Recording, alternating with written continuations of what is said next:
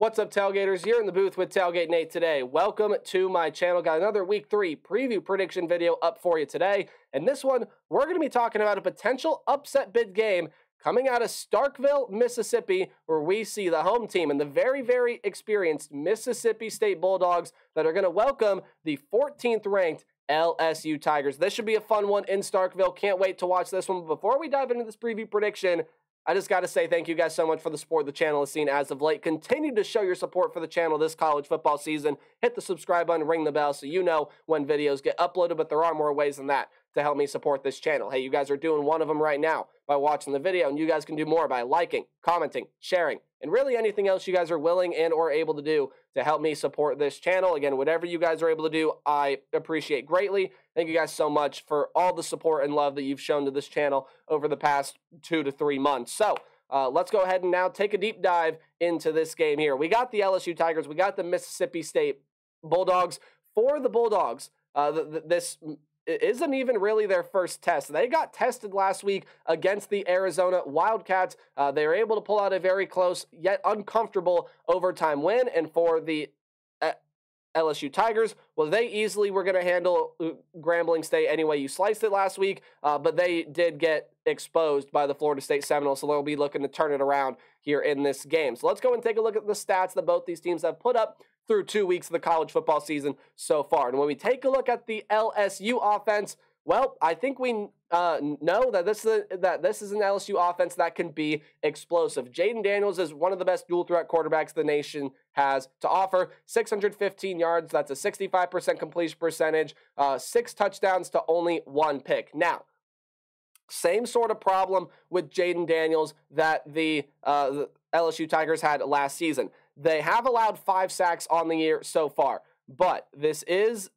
a, or, or, or I guess not an LSU thing, more like a Jayden Daniels thing that, that too often than not, when Jayden Daniels tries to get out of the pocket and create against the team with a superior pass rush, kind of like what Florida State has, kind of like what they may see out of Mississippi State here, he gets caught and he gets trapped, doesn't get rid of the ball, and he goes down and takes a loss of yards, which th- makes things doubly as hard for the LSU offense to work and be able to drive down the field. So, yes, the offensive line has to provide some good protection, but Jayden Daniels cannot get himself in situations uh, to where he really needs to feel like he needs to uh, take a loss there on that play. But again, this offense is loaded with uh, with weapons. Logan Diggs is leading the rushing game there. You got guys like Brian Thomas, Mal- uh, Malik Nabers. Malik Nabers, don't know why I couldn't say that name there, uh, and Kyren Lacy in the wide receiver room. So the LSU offense is going to be just fine here. Again, uh, Jayden Daniels has got to be able to limit uh, what pressure I guess Jayden Daniels on the offensive line got to be able to limit what pressure uh, gets back to him. Defensively, this is an LSU defense that got a little bit exposed by the Florida State Seminoles. Now, again, that Seminole offense is really experienced, really, really good, but LSU is one of the best defensive players, if not the best defensive player in the entire country, and Harold Perkins. He only has six tackles on the year so far. Definitely was a candidate to be this team's leading tackler, so expect him to really step up his game here as the season goes along. But this is also a team that, while the pass rush hasn't been there, is dangerous and is lethal, and you have to watch out for it. I know they've only generated one sack so far, but this is the defense that can absolutely force turnovers, can get to the quarterback, uh, and they, they can create havoc for the Mississippi State offense, which, speaking of them, let's talk about them now. Yes, Will Rogers is still there, and he hasn't been super impressive, but he hasn't gotten the reps that he usually does. And uh, uh I guess I kind of retract my statement that I just said. Will Rogers, for the reps that he's had, has been impressive, right? It's not a stat line that you're used to seeing, like, oh, you know, Will Rogers exploding onto the scene. His season stat line so far through two games is kind of what we're used to seeing out of Will Rogers through one game, but he's 33 of 46 on the year, 389 yards, and five touchdowns so far this season, which, hey, uh, pretty, pretty good um, stat line there, considering this is kind of a new Mississippi State offensive system. Again, we're used to seeing the air raid from Mike Leach, who sadly has passed away. So Zach Arnett coming in here. Uh, but this is a, a, run game that's worked really, really, really well. Uh, Jo'quavious Marks uh, has been playing really, really well for this team. 43 carries, 250 yards, three touchdowns. That's 5.8 yards per carry. And my mistake too. That sack number is wrong. It is uh, this. This is the Bulldog offensive line that has allowed three sacks, and it should be 1.5 per game. So apologies for that statistical error there if I see it in the comment section, uh, don't say I didn't say it in this video because I caught it. It's corrected. Uh, but th- this is the Mississippi State offense runs through the run game, but Will Rogers, I think, is going to have to find that rhythm here in this game, throwing the football. He's got the weapons to do it. It's just got to happen. And for this Mississippi State defense, well, don't let these numbers fool you. Yes, they forced six turnovers. They've been pretty good at that so far. They've been able to generate pressure to opposing quarterbacks, but when you take a look at this Mississippi State defense, 15.5 points per game, 319.5 yards per game. I believe this was a this was a defense that got torched by Arizona last week for over 400 yards. And this is an LSU offense that is much much better than what the Bulldogs saw in the Arizona Wildcats. However, this is the defense with a lot of experience, especially on that defensive front uh, and they are going to create some problems for the LSU Tigers. But this is definitely a step up in terms of what the uh, uh, in terms of what the Bulldog defense saw last week, which leads me into my what to watch for keys to the game, whatever you want to call it. Just some things I think you should watch for when you tune, or I should say, if you tune into this one, and you should. It's going to be a pretty good one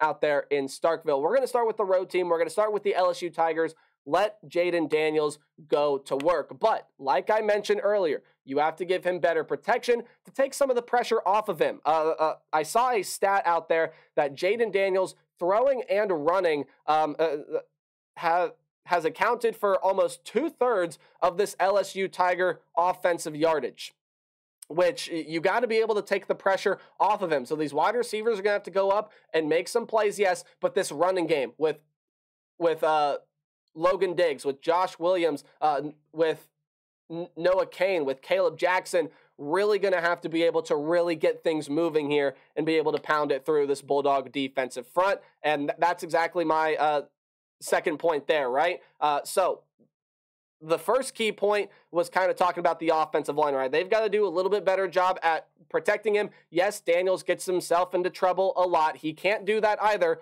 but it's an offensive line that can still do a better job at protecting him. And this is a run game that has to get more involved in this game, again, in order to take the pressure off of Jayden Daniels and get the pass rush going as well. I've said it, or I said it when we were taking a look at stats there, right?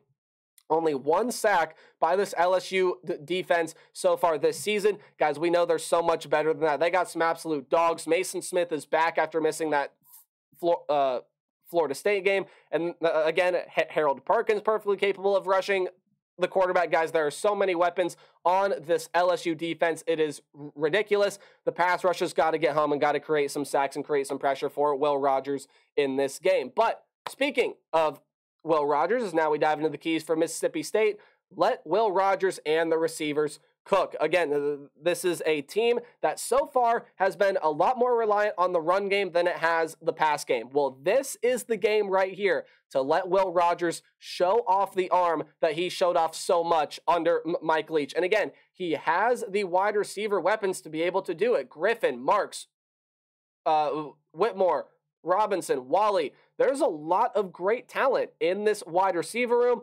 Show it. Let it go to work. This is an LSU secondary that got torched against Jordan Travis and Florida State. And albeit while there are a lot bigger bodies in that wide receiver room, Mississippi State's got a lot of good weapons to be able to make that work as well. The offensive line for the Mississippi State Bulldogs has to make the Tiger front a, a non factor, which is asking a lot. So I also limit it to, well, just limiting it, right? So you, you got to be able to, uh, uh, again, this is an LSU pass rush that hasn't really been able to get going in full force quite yet. You got to let that continue in this game. The offensive line has got to do its job at protecting Will Rogers and creating holes for this run game that has worked so effectively over the past two games. And you got to create pressure on Daniels as well. So get that pass rush home. Uh, let Daniels get himself in, in the situations where he's kind of just in no man's land and has to take a sack, which leads me into my prediction for this game. This is kind of a must win for the LSU Tigers if they want to stay alive in the college football playoff race. Well, and really, you could say that about any team with one loss right now. But especially for the LSU Tigers, I think they feel like they have something to prove. I, I, I, definitely don't think that they feel like they played their best game against the Florida State Seminoles. And you know what? I, I'm not going to sit here and disagree with them. I do think they can play a little bit better of ball. Mississippi State is going to make this game tough, though. They got a lot of experience, and Will Rogers has got a great arm, but the Tigers will be a little bit too much. They'll go on the road and get a big win here in Starkville on Saturday. So that's going to do it for my thoughts on this game. Let me know yours in the comment section down below. And as always, remember to play hard, but tailgate harder. See you guys in the next video. Goodbye.